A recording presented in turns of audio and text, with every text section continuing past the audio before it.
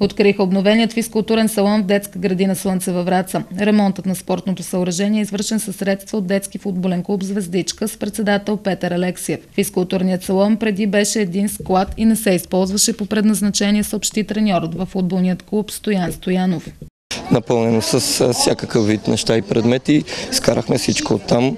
А, направихме пода отдолу, смисъл шпакловки, осветления, служихме. И така, освежихме го доста, бих казал, направо ремонт си се направи доста добър и се получиха нещата. Дейностите по обновяването на физкултурният салон са започнали преди нова година. И след това вече ето края на април месец свърши ремонта, да се надяваме другата година вече да го използваме и да развиваме футболистите във Враца, децата. Директорът на детска градина Слънце Дора Младенова благодари на футболен клуб Звездичка за съдействието при ремонта на спортното съоръжение.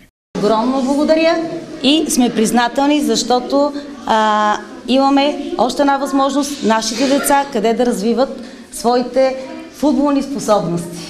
Гост на откриването на обновеният физкултурен салон бе заместник метът на община Враца Петя Долапчиева. Футболен клуб Враца има нужда от ново попълнение, така че тук започваме с тренировките и продължаваме на терена на, на, терена на Общински стадион Христо Ботев.